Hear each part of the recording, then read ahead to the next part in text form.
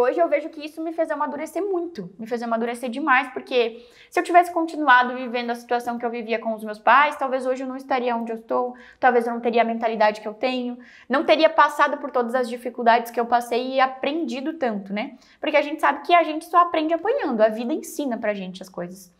Então, é, no decorrer da nossa vida, a gente apanha muito, mas depois de um certo tempo a gente para e olha para trás e fala: caralho, isso realmente me ensinou e me fez chegar onde eu tô hoje.